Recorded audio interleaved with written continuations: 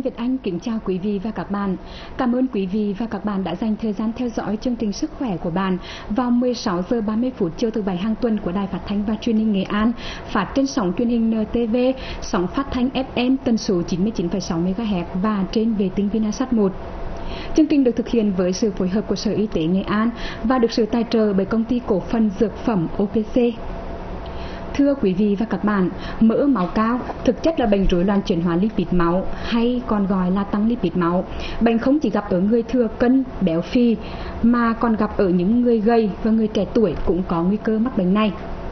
À, đây là căn bệnh khá phổ biến, đặc biệt là khi đời sống ngày càng phát triển với những nguy cơ à, tương đương bệnh tăng huyết áp thì bệnh tăng lipid máu là nguyên nhân hàng đầu của nhồi máu cơ tim, bệnh mạch vành và tai biến mạch máu não.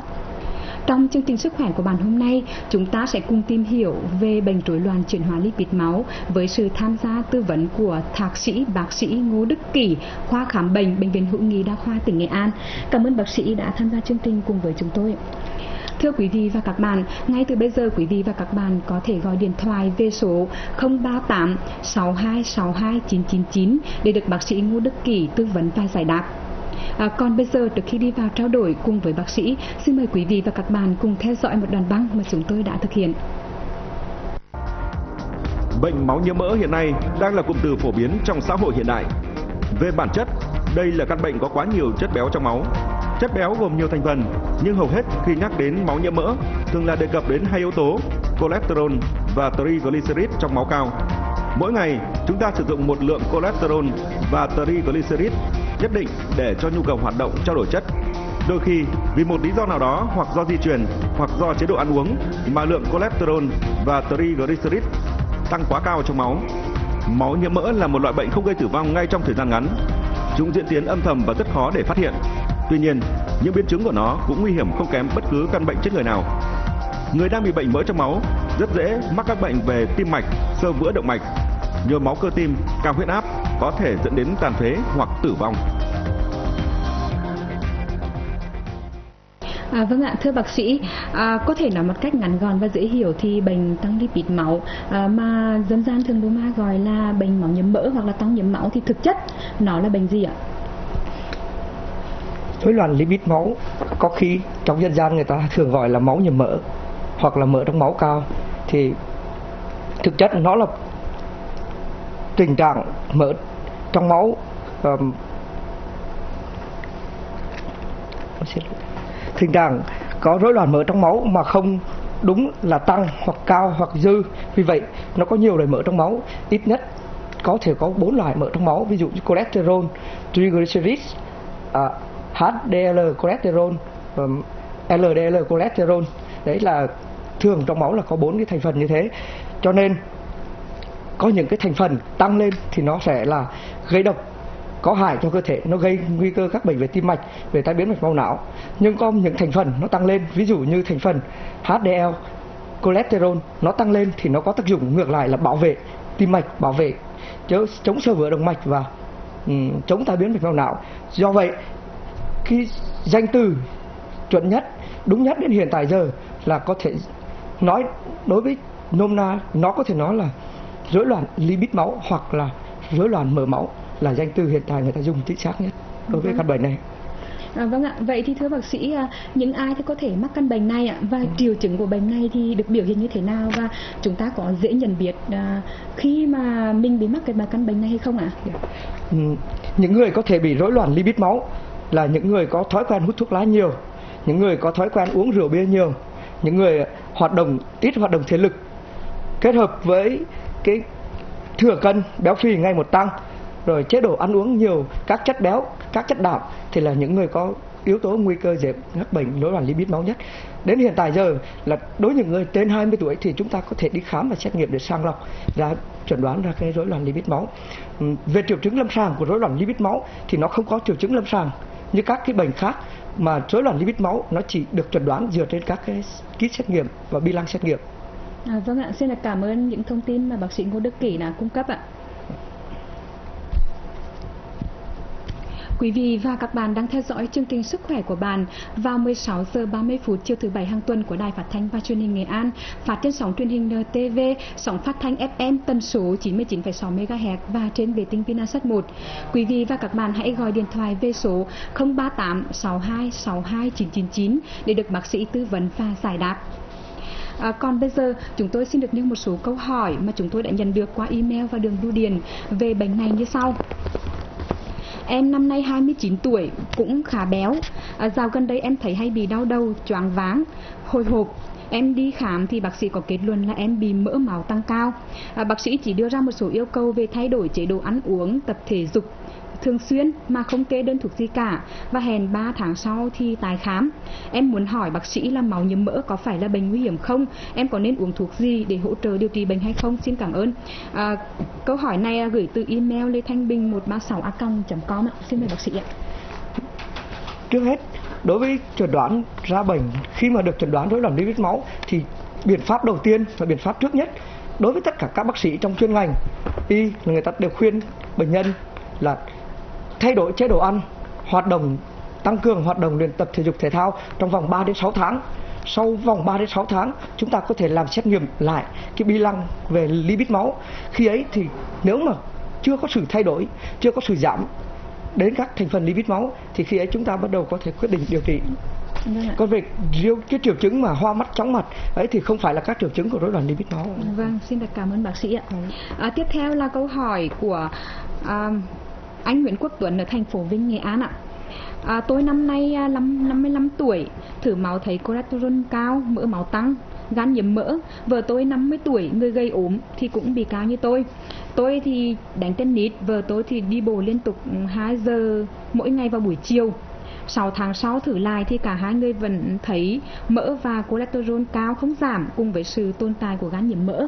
À, tôi thắc mắc là tại sao thì vận động cơ thể tối đa đều, đều đặn như thế mà lại không giảm mỡ trong máu và vợ tôi gây ốm thì tại sao lại vẫn bị bệnh này ạ?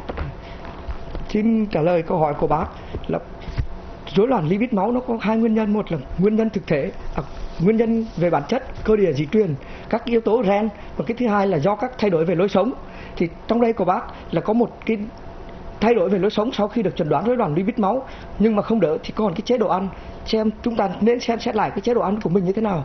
Và có thể sau khi luyện tập thay đổi chế độ ăn, nhưng mà lipid máu nó vẫn không xuống, không thay đổi, thì khi chúng ta bắt buộc phải điều trị vâng ạ. À, trong câu hỏi của bác Tuấn thì có hỏi là à, vợ của bác ấy gây ốm ạ, nhưng mà cũng bị bệnh này ạ. Vậy thì bác sĩ có thể là à, tư vấn giúp là tại sao thì người gây cũng bị ạ, hay mà người béo thì đã bị rồi nhưng mà người gây cũng bị ạ. Rối loạn lipid máu là rối loạn các cái chuyển hóa của cơ thể nó không phụ thuộc vào gây hay béo mà những người gây cũng có thể bị rối loạn lipid máu đặc biệt ở những người béo phì thừa cân thì là yếu tố nguy cơ cao dễ mắc bệnh rối loạn lipid máu thôi còn đối với những người gầy thì cũng không chưa chắc loại trừ được rối loạn lipid máu trong trường hợp này của bác gái vâng xin được cảm ơn bác sĩ ạ à, và câu hỏi tiếp theo ạ là của bác Phạm Minh ở Nghi Lộc Nghệ An ạ À, tôi 56 tuổi bị rối loạn mỡ máu, đang uống thuốc hạ mỡ máu Lipito 20mg silicat. Tôi có thể dùng thêm thực phẩm chức năng nhằm kiểm soát mỡ máu được không? Mong bác sĩ tư vấn giúp tôi. Xin cảm ơn ạ. Xin mời bác sĩ ạ như bác điều trị về thuốc Libitor 20mg để điều trị rối loạn lipid máu hiện tại giờ là đúng, theo phác đồ chuẩn của các cái khuyến cáo của hội tim mạch thế giới cũng như Việt Nam.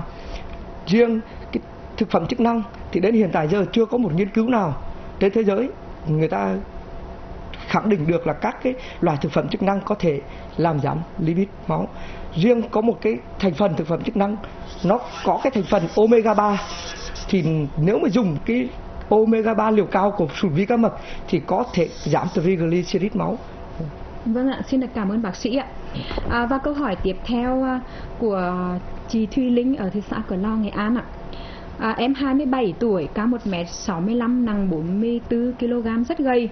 À, dạo này em thấy bụng to lên bất thường.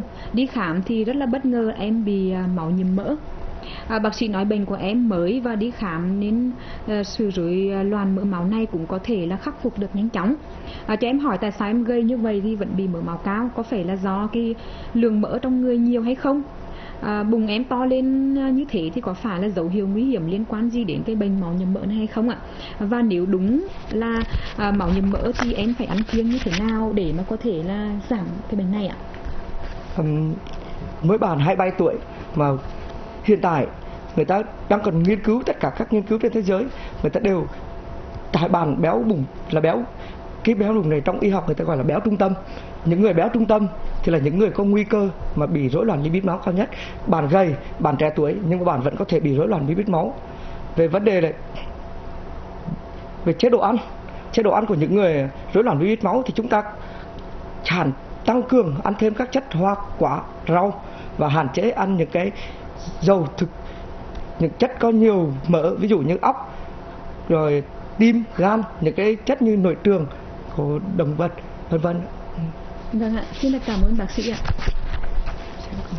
Quý vị và các bạn đang theo dõi chương trình sức khỏe của bạn vào 16 giờ 30 phút chiều thứ bảy hàng tuần của Đài Phát thanh và Truyền hình Nghệ An trên sóng truyền hình NTV, sóng phát thanh FM tần số 99,6 MHz và trên vệ tinh Vinasat 1. Quý vị hãy gọi điện thoại về cho chương trình theo số 038 6262 999 để được bác sĩ tư vấn và giải đáp.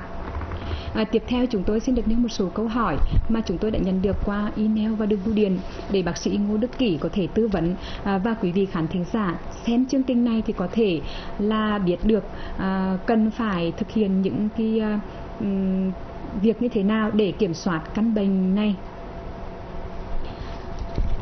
À, tôi bệnh gút và cả máu nhiễm mỡ phát hiện ra bệnh cách đây khoảng một năm. Xin hỏi có phải hai bệnh này có liên quan với nhau hay không? À, liều chữa bệnh này thì có chữa khỏi được bệnh kia hay không? À, hiện tại thì à, nên uống thuốc gì là điều trị tốt nhất?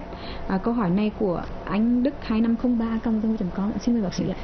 Xin trả lời câu hỏi của anh là riêng bệnh gút và bệnh mờ máu thì hai bệnh nó không liên quan gì với nhau nhưng mà hai bệnh của bác thì nó có thể nằm trong bệnh cảnh một cái hội chứng chuyển hóa thì bác có thể bị thêm các bệnh béo phì hoặc là tiểu đường hoặc tăng huyết áp về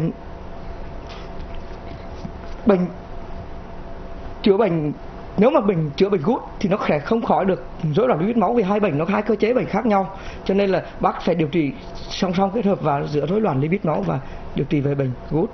Uhm, hiện tại thì thuốc điều trị tốt nhất cho bác thì có trên thị trường nó có rất nhiều loại thuốc điều trị. Chúng ta phải xem trong cái thành phần rối loạn lipid máu của bác là thành phần cholesterol tăng hay triglycerides tăng, khi ấy thì chúng ta có cái quyết định điều trị bằng thuốc khác, bằng thuốc chính xác nhất. Về chế độ ăn cho bác thì tốt nhất là tăng cường ăn, như tôi vừa nói xong, tăng cường ăn thêm hoa quả, rau và giảm các loại chất béo, chất có nhiều axit béo và các cái loại nội tạng mỡ động vật. Vâng ạ, xin được cảm ơn bác sĩ ạ. À, thưa quý vị, chúng tôi đã kết nối được với một quý vị khán thính giả gọi về cho chương trình đó là bác Hoàng 70 tuổi ở huyện Nghi Lộc tỉnh Nghệ An ạ. Xin chào bác Hoàng ạ. À, chào bác ạ. Alo. Vâng ạ. Xin mời bác hãy đưa câu hỏi về bác sĩ để được bác sĩ tư vấn ạ. Vâng.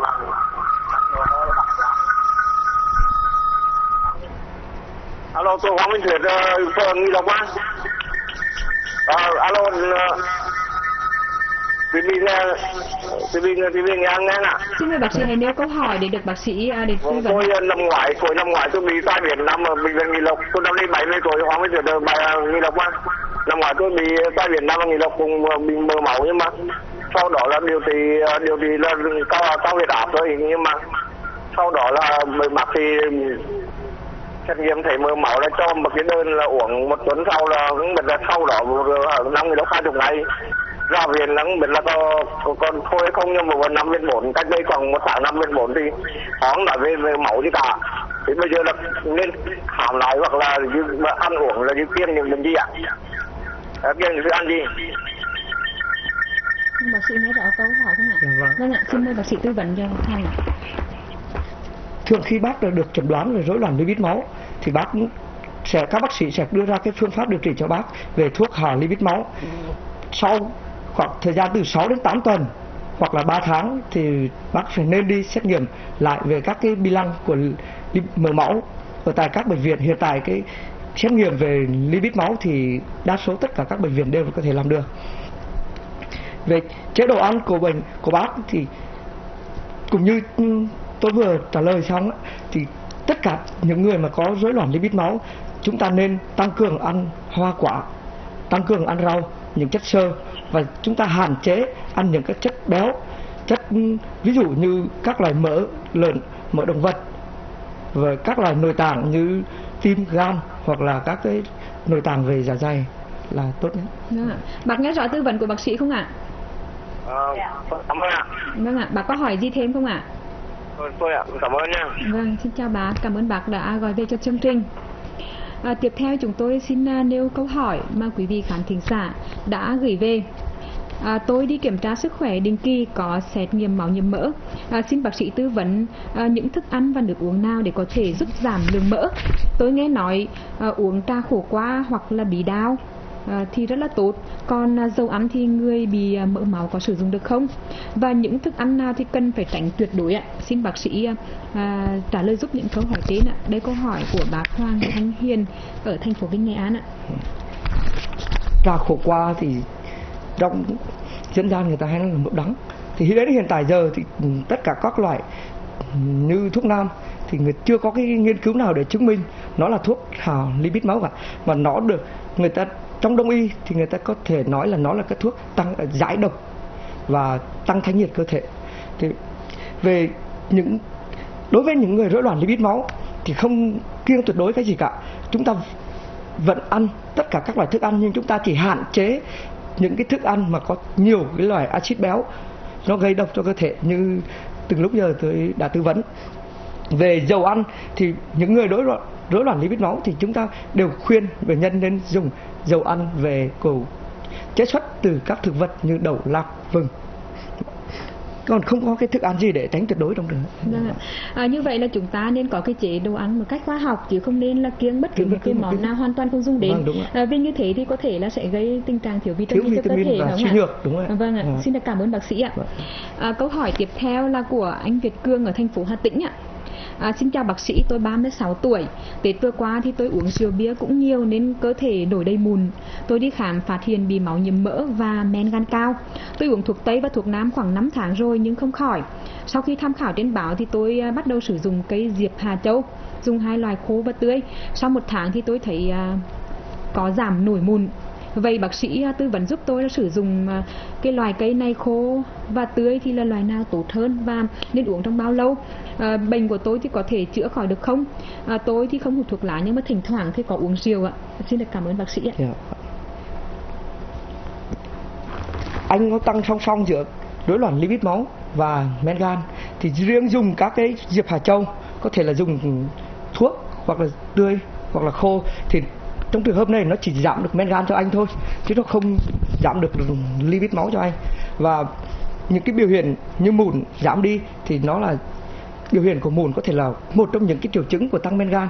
Thì trong trường hợp này có thể là men gan, khi men gan anh giảm xuống thì những cái mụn nó sẽ giảm đi. Và riêng về cái diệp hà châu, khô hoặc tươi thì anh có thể dùng song song được. Hay cái này thì nó là thuốc nam, cho nên anh dùng song song được. Nhưng mà để thời gian dùng, người ta cũng khuyên là trong vòng khoảng 3 tháng đến 6 tháng người ta có thể dừng xong dùng dùng khách quán chứ không nên dùng liên tục lắm vì có thể trong các cái chất đấy nó có có những cái mà mình chưa lọc được các chất độc ra thì nó có thể ảnh hưởng đến những cái bộ phận khác của cơ thể Ừ, Vâng ạ. À, vậy xin được hỏi thêm là từ cái câu hỏi của quý vị khán thính giả này thì là à, vừa bị à, máu nhiễm mỡ này vừa bị men gan cao, gan nhiễm mỡ vậy thì bác sĩ có thể tư vấn là hai cái bệnh này thì à, có liên quan gì tới nhau hay không ạ? Tức là mỡ máu và mỡ gan ạ. hiện tại thì giữa rối loạn lipid máu và rối- và tăng men gan ờ, và gan nhiễm mỡ, thì hai cái bệnh này nó không, đến hiện tại chưa có mối liên quan. Người ta chưa tìm ra cái mối liên quan giữa tăng men gan và tăng lipid máu. Tăng men gan thì nó là phụ thuộc vào rất nhiều yếu tố, ví dụ như bệnh nhân uống bia nhiều, rồi tất, các cái hút thuốc lá nhiều nó làm cái quá trình cái tế bào gan nó chết nhanh hơn, và cái chính là gan nó không thể độc được, thì nó lắng đọng lipid máu ở gan thì nó làm tăng mỡ mỡ máu ờ, tăng gọi là gan nhiều mỡ còn riêng rối loạn lipid máu nó là rối loạn các cái chuyển hóa của lipid. Cho nên hai cái bệnh này nó hiện tại nó không liên quan gì với nhau cả. Vâng ạ. Như vậy là nếu bị bệnh à, bệnh này hoặc là bệnh kia thì chúng ta phải điều trị theo đúng cái bệnh đó. Vâng. chứ không thể là một loài thuốc của bệnh này thì có thể chữa được bệnh kia mặc dù là cũng có cái từ à, mỡ trong mỡ. đấy ạ. Dạ vâng, đúng ạ. xin được cảm ơn bác sĩ ạ. À, tiếp theo thì chúng tôi xin được nêu câu hỏi của chị Trần Thị Trinh ở Hương Sơn Hà Tĩnh À, mẹ cháu 65 tuổi đi khám ở khoa nội tổng quát. Bác sĩ kết luận mẹ cháu bị máu nhiễm mỡ và cao huyết áp không bị tiểu đường. À, cháu uống thuốc một tháng. À, mẹ cháu uống được nửa tháng thì thấy chân tay buồn rùn muốn quỳ xuống. Và có hai lần là nặng nhất và có ho nặng có đơm. À, vậy cháu xin hỏi là có phải bác sĩ khám thì chưa đúng bệnh hay không? Hay là do uống thuốc liều quá cao quá nặng ạ? À, rất mong được sự hồi đáp của bác sĩ ạ. Xin cảm ơn ạ. Mời bác sĩ tư vấn ạ. Trong trường hợp này thì vì khi mà được các bác sĩ đã chẩn đoán rối loạn lipid máu, thì chắc chắn là người ta sẽ dựa vào các cái xét nghiệm để người ta chẩn đoán rối loạn lipid máu, chứ không dựa vào các triệu chứng. Trường hợp như của bác bị, có biểu hiện bù rún chân tay, hoa mắt chóng mặt, có thể là hạ huyết áp dùng mình. Trường hợp này có thể mình nghĩ đến trường hợp là dùng thuốc huyết áp hơi quá, cho nên huyết áp nó hạ mạnh quá chứ không phải là dùng cái thuốc mỡ máu mạnh quá. À, vậy thì à, thưa bác sĩ à, nếu như với trường hợp này thì là à, người nhà bệnh nhân hoặc là bệnh nhân thì phải nên làm như thế nào ạ? những trường hợp này thì tốt nhất là bệnh nhân nên nghỉ ngơi. Ừ. và mình có thể mình kiểm tra đo huyết áp ngay lúc ấy để xem huyết áp thế nào. Và sau đó nếu mà bệnh nhân không không hết cái cơn này thì chúng ta có thể phải đến bệnh viện nơi gần nhất để các bác sĩ biết là lúc ấy huyết áp. Vì cái nguyên nhân của tụt huyết áp nó rất nhiều nguyên nhân cho nên như mình có thể phải đến bệnh viện nơi gần nhất để các bác sĩ các bác nhân viên y tế người ta sẽ chăm sóc mình là tốt nhất Ừ, Vâng ạ. À, trong lúc chúng ta đang trao đổi thì à, kỹ thuật viên của chúng tôi đã kết nối được với anh Đức 35 tuổi ở thành phố Vinh ạ, có gọi điện thoại về cho chương trình ạ. Xin chào anh Đức ạ. Xin chào anh Đức ạ. À, vâng ạ. À, vâng ạ, à, xin mời anh hãy nêu à, những cái câu hỏi của mình để được bác sĩ à, Ngô Đức Kỳ tư vấn cho anh ạ. À, vâng em là Đức ạ. Em ờ, hiện tại em đang cân nặng là 62 cân. Nhưng mà em đi khám thì bác sĩ bảo là em mỡ máu trong trong người cao. Thì em không hiểu là tại sao em người gầy mà lại vẫn mỡ máu trong người cao ạ. Anh Dạ bác sĩ nghe rõ ạ? Xin mời bác sĩ tư vấn cho anh em ạ. xin trả lời ạ anh được đi khám mà bác sĩ nói mỡ máu cao thì Vâng. như từ lúc em đã nói bệnh rối loạn lipid máu hoặc là rối loạn chuyển hóa lipid. Nó là do cái rối loạn về chuyển hóa ở tại cơ thể con người nhưng nó không phụ thuộc vào người gầy hoặc là người béo. Mà những người béo thừa cân thì nó chỉ là yếu tố nguy cơ dẫn, yếu tố nguy cơ cao để dẫn đến rối loạn lipid máu, chứ không phải là người. Chúng ta không thể khẳng định được người gầy thì không có rối loạn lipid máu. Vì bình thường, trong một con người bình thường chúng ta đều có lipid máu cả. Nhưng mà cái hàm lượng lipid máu nó sẽ nằm ở cái mức cho phép nào đó khi xét nghiệm lên nó có thể cao hơn hoặc nó giảm hơn thì khi ấy người ta có thể đưa ra một cái chẩn đoán là rối loạn lipid máu À, anh Đức có hỏi thêm gì không ạ? À, em muốn hỏi là em muốn hỏi là thế bây giờ bác sĩ bảo là dặn không được ăn các đồ mỡ với cả các thứ để tránh mỡ trong máu nhưng mà người em đang gầy thì bây giờ ăn ít đồ ít mỡ thì nó lại gầy người thêm thì phải làm thế nào? À vâng. Dạ vâng. Ừm, anh có thể ăn được tất trong nghiêng về chế độ ăn thì chúng ta không kiêng tuyệt đối hết tất cả mọi thứ và chúng ta chỉ ăn với một cái hàm lượng nhất định và điều độ đúng. Anh có thể ăn được mỡ nhưng mà anh không hạn chế. Đây chỉ nói là người ta chỉ khuyên là hạn chế ăn các loại mỡ của nội tạng, mỡ động vật nhưng người ta không nói kiêng tuyệt đối mình vẫn có thể ăn một cái lượng nhất định nhưng mình không thể kiêng tuyệt đối vì bản thân khi mình ăn những cái chất mỡ, chất béo vào thì nó là tạo năng lượng cho cơ thể chúng ta hoạt động cho nên nếu mà anh mà không ăn thì chắc chắn cơ thể anh nó sẽ mệt mỏi và suy nhược anh sẽ không còn không có đủ năng lượng để anh làm việc nhưng anh chỉ ăn một cái hàm lượng nhất định và kết hợp với các cái luyện chế độ luyện tập thì chắc chắn là cái lipid máu của anh sẽ ổn định hơn Vâng ạ. Vâng. À, vâng, xin được cảm ơn anh Đức ạ. Quý vị và các bạn đang theo dõi chương trình Sức khỏe của bạn trên sóng truyền hình Nghệ An vào lúc 16 giờ 30 phút chiều thứ bảy hàng tuần. Chương trình phát sóng trên sóng truyền hình NTV, sóng phát thanh FM tần số 99,6 MHz và trên vệ tinh Vinasat 1. À, ờ, quý vị hãy gọi điện thoại về số 038 6262 999 để được bác sĩ tư vấn và giải đáp à, những cái thắc mắc của quý vị. À, còn bây giờ thì à, xin được nêu một câu hỏi à, của à, một khán thính giả đã gửi về cho chương trình ạ. Xin chào bác sĩ, tôi 36 tuổi, nữ. Cách đây 2 tháng tôi thấy mệt mỏi khi vận động nhiều. À, đi khám tổng quát ở bệnh viện làm các xét nghiệm. Kết quả thì à, tim, gan, thận, phổi đều tốt và không bị tiểu đường. À, bác sĩ ghi là máu nhiễm mỡ nhẹ 183 so với 165 à, bác sĩ có cho uống thuốc trong một tháng tuy nhiên thì à, trong hai tháng qua thì tôi à, uh, sụt cân từ 50 kg xuống còn có 44 kg tim đập nhanh và cơ thể mỏi mệt xanh mặt khi vận động hoặc là làm một cái việc gì đó chân tay. À, xin bác sĩ cho biết là à, máu nhiễm mỡ có gây sụt cân như thế hay không ạ? Và tôi nên đi khám hay làm xét nghiệm thêm gì nữa không để có thể là điều trị cái bệnh này? À, tôi rất là lo lắng vì à, có người nói sụt cân như thế là dấu hiệu của bệnh lao hoặc là ung thư ạ. Xin mời bác sĩ tư vấn. À, giúp ạ. Câu hỏi này là của chị anh Cương ở 08 com ạ. Yeah. Thứ nhất là xin trả lời câu hỏi đầu tiên của chị là rối loạn mỡ máu nó không gây gây cân như thế. Thì cái thứ hai, cái triệu chứng của chị như hồi hộp, tức ngực, tim đập nhanh mà gây sút cân nhiều thì nó có rất nhiều các nguyên nhân để dẫn đến như thế mà chỉ nên đi khám ở các cái chuyên khoa sâu có thể có một số cái nguyên nhân về nội tiết như các cái bệnh về ba đô thì nó cùng gây bệnh nhân hồi hộp tức ngực tim đập nhanh gây sút cân chứ khoan chưa vội gì phải nghĩ đến một cái bệnh lao hoặc bệnh ung thư vì đến khi nó còn có các triệu chứng kết hợp của trì nữa chứ không phải là gây sút cân là người ta quy kết cho ngay là bệnh ung thư hoặc là lao dạ vâng. cái này thì tốt nhất đến đến các trung tâm mà có các đủ đầy đủ xét nghiệm đầy đủ cái, cái kỹ thuật cao để người ta khám và sàng lọc tốt nhất cho chị trong trường hợp này. Vâng ạ, xin được cảm ơn bác sĩ đã tư vấn ạ.